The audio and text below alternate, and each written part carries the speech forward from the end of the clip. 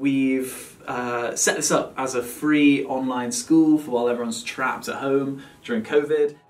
I'm trying to make science as accessible as oxygen. I really believe that of all the times in history, there's never been a more important time for people to like and understand and respect science. Oh, Ben's asked a great question. I think science is creative, and learning science from a textbook can be one of the most boring things ever.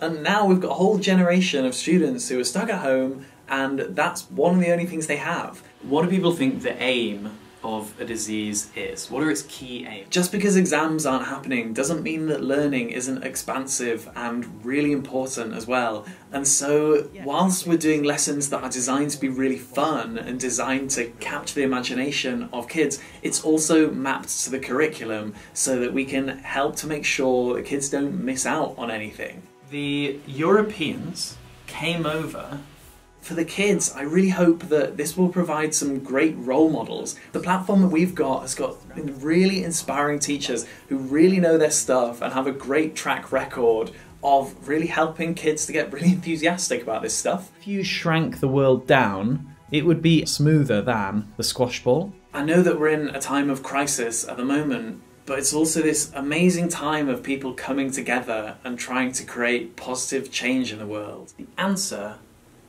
is 103.